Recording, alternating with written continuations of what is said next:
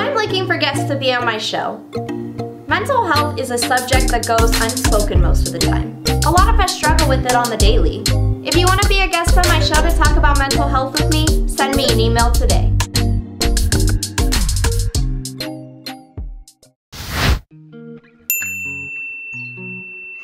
ah!